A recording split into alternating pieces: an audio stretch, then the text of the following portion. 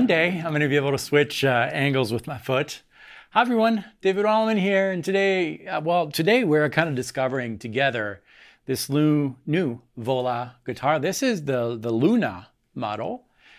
If you've been following the channel for a while, you know that I'm a big fan of Vola guitars. I've been using this Vola Oz, or Aussie, some people call it Aussie, I call it Oz, for a long time, for a couple years now. It's been my main guitar. The thing with the Oz, it, it kind of, to me, it feels like a, it kind of feels like a super strat, but with a touch of Telecaster in there. And I love it, but the neck is a little thicker than what um, I was used to. I'm, I'm, coming from the Ibanez world. I played Ibanez RG guitars for 20 years or so, and then this has been my main guitar, which is kind of a shock to some people because of the neck, a little wider. I love this thing.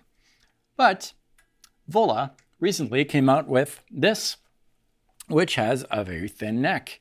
So it's not quite like the, the wizard necks from the Ibanez, but it's still quite a thin neck. Now, I'm going to tell you, I'm going to tell you about my very, very, very first impression. And I'm talking like first, you know, 15 minutes of playing with this.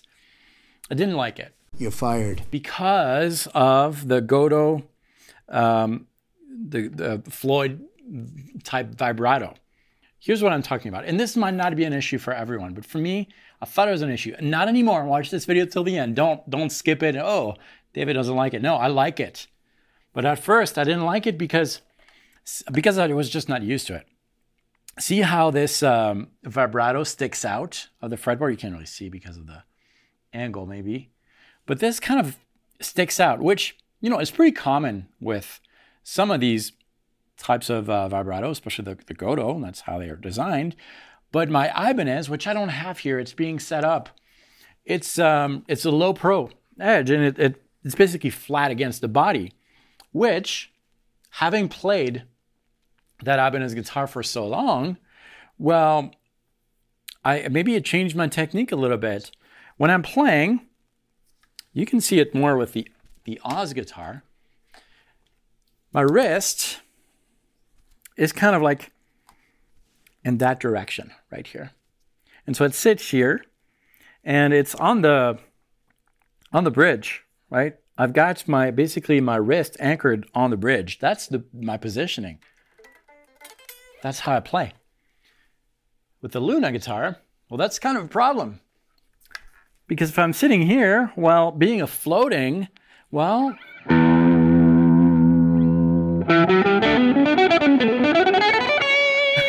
some intonation problems. And also, it really hurts my wrist. And so that's why I was talking to Greg from Vola.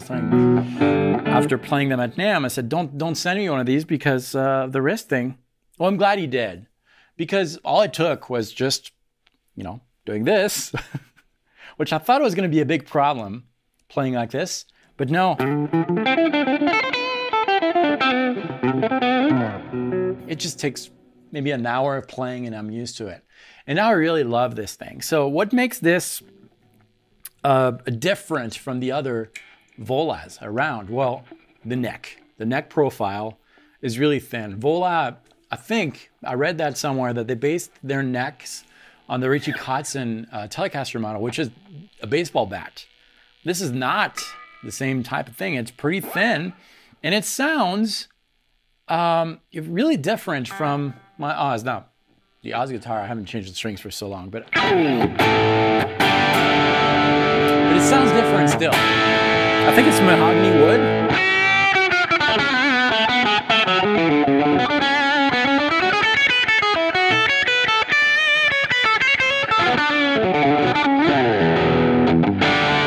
To me, it sounds um, brighter and more mids. I'm gonna I'm gonna use the same exact patch. I'm gonna play something.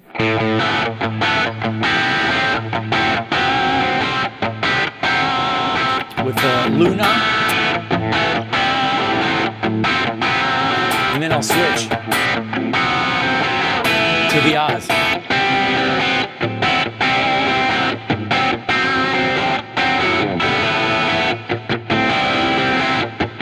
Different.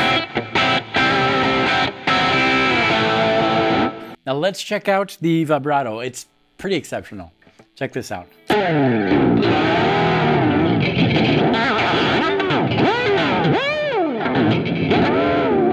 As far as the tuning.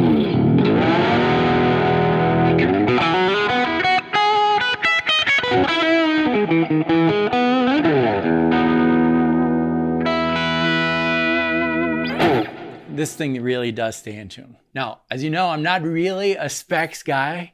Woods, length, all, those things, I, I don't know. I should, having a guitar channel, but I don't. However, I will leave all the info below. All I can tell you is that I was afraid first of this vibrato thing, but I'm starting to really love this Luna guitar. So Vola did it again. The neck profiling feels more like an Ibanez than the traditional Volas that you might be used to. Definitely more so than my Oz guitar here.